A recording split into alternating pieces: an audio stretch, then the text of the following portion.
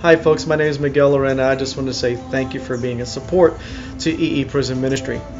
I met Art Hallett uh, back in 1996 uh, as he walked through Henry Correctional Facility, and I was there uh, in that chapel and everything, and he told me that I had potential, and God had wanted to use me for His glory and for His honor. Well, after taking the course for only like three or four weeks of EE, I said, uh, no, that's it's not for me. This man came all the way to the door and told me, uh, hey, I'm not allowing you to give up like that because I see what God wants to do through you. And I stuck through it. Years later, I think about two years later, after taking the course and everything, I became the teacher uh, of the course and passed on that blessing, what God had used, uh, how God used Art, He's used me, and just uh, continued to teach at other facilities after I got moved around.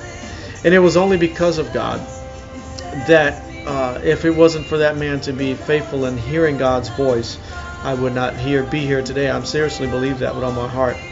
But I want to say uh, today, uh, after being released 16 years, uh, being behind those gates, three months after being released, Pastor came and got me and told me, he says, Miguel, I'm looking at you. I see potential. I see what God is doing in your life and what He's already done in your life. I'm going on vacation. And He gives me the keys to the church and says, I need for you to minister to my people uh, for two weeks. That is God. That is God, people. Three months after being released from the facility. That is God, man. It's just so awesome. I got to keep saying that. Uh, God is so awesome to me. And uh, today, uh, as I stand or sit before you, I am also the director of Swan Learning Ministry. They just voted me in about a week ago uh, to be a part of this ministry. That is God. So, people, uh, it is a true, true testimony uh, that is going before you right now.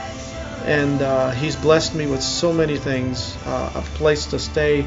Uh, you see my home office now. I also have a vehicle. God has blessed me with a job that within only a year and a half of being released and working there, I've had two raises. That is of God. So you cannot tell me that God is not real. People, I pray that you support this ministry. Do not give up.